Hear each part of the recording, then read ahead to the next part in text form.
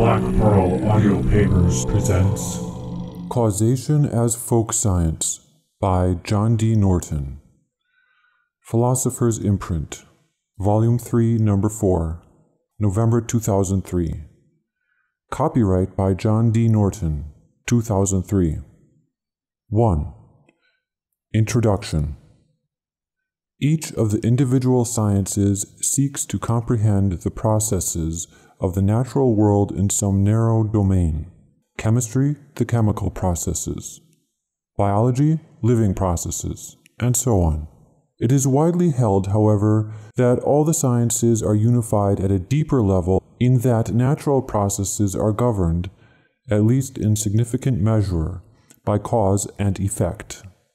Their presence is routinely asserted in a law of causation or principle of causality, roughly, that every effect is produced through lawful necessity by a cause, and our accounts of the natural world are expected to conform to it. Some versions are Kant in 1933, quote, All alterations take place in the conformity with the law of the connection of cause and effect. Everything that happens, that is, begins to be, presupposes something upon which it follows according to a rule. Unquote.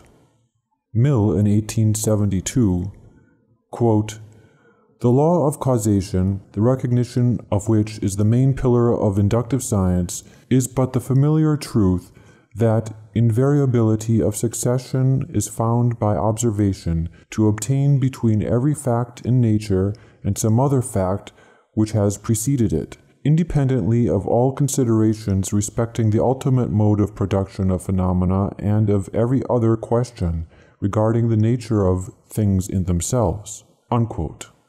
For a short survey, see Nagel, 1961, Chapter 10, Section 5. My purpose in this paper is to take issue with this view of causation as the underlying principle of all natural processes.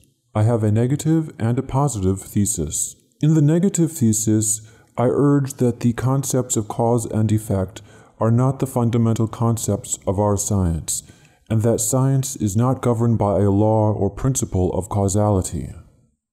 This is not to say that causal talk is meaningless or useless. Far from it. Such talk remains a most helpful way of conceiving the world, and I will shortly try to explain how that is possible. What I do deny is that the task of science is to find the particular expressions of some fundamental causal principle in the domain of each of the sciences. My argument will be that centuries of failed attempts to reformulate a principle of causality, robustly true under the introduction of new scientific theories, have left the notion of causation so plastic that virtually any new science can be made to conform to it. Such a plastic notion fails to restrict possibility and is physically empty. This form of causal skepticism is not the traditional Humean or positivistic variety. It is not motivated by an austere epistemology that balks at any inference to metaphysics. It is motivated by taking the content of our mature scientific theories seriously. Mature sciences, I maintain, are adequate to account for their realms without the need of supplement by causal notions and principles. The latter belong to earlier efforts to understand our natural world, or to simplified reformulations of our mature theories, intended to trade precision for intelligibility. In this sense, I will characterize causal notions as belonging to a kind of folk science, a crude and poorly grounded imitation of more developed sciences. More precisely, there are many folk sciences of causation corresponding to different views of causation over time and across the present discipline. While these folk sciences are something less than our best science, I by no means intend to portray them as pure fiction. Rather, I will seek to establish how their content can be licensed by our best science without the causal notions becoming fundamental.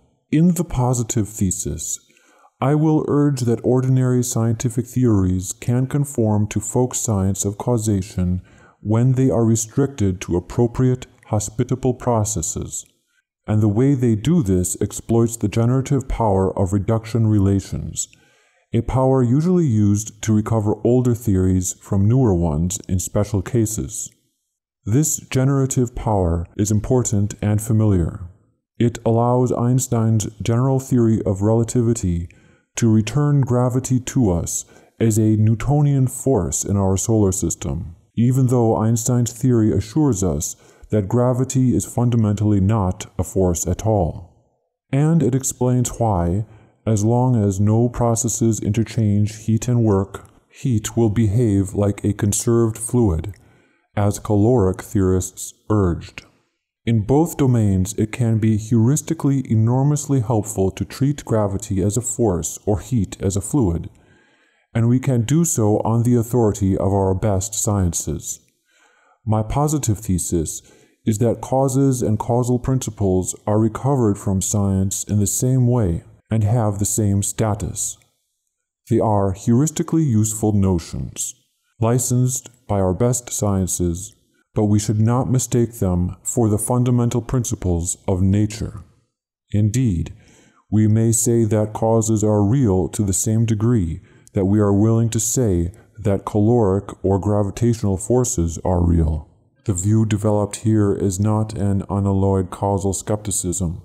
It has a negative skeptical and a positive constructive thesis, and I urge readers to consider them in concert. They are motivated by the same idea.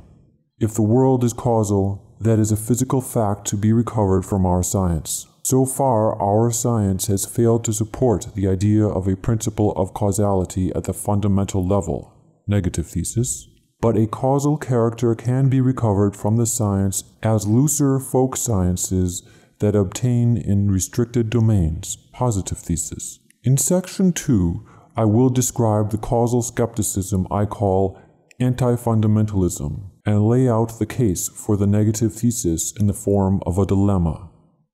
In section 3, in support of the arguments of section 2, I will give an illustration of how even our simplest physical theories can prove hostile to causation. In section 4, I will begin development of the positive thesis by outlining the generative power of reduction relations. In section 5, I will describe one type of the possible folk theories of causation in order to illustrate the sorts of causal structure that can be recovered from the generative power of reduction relations. Section 6 has examples of this folk theory used to identify first and final causes and to display the domain dependence of the recovery. Section 7 has a brief conclusion. This concludes Section 1 of Causation as Folk Science by John D. Norton. Please stay tuned for Section 2.